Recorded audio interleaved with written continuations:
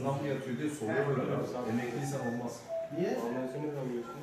Biz haber yaptıktan sonra dedim ki Emniyet Genel Müdürlüğü yavru köpek var.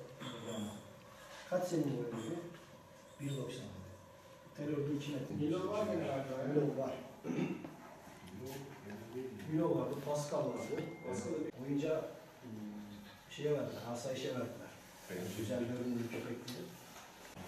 Şöyle boydan alın ya. Abi boydan boyundan adam ya. Kayıttan çıktığınızda söylerseniz geçin.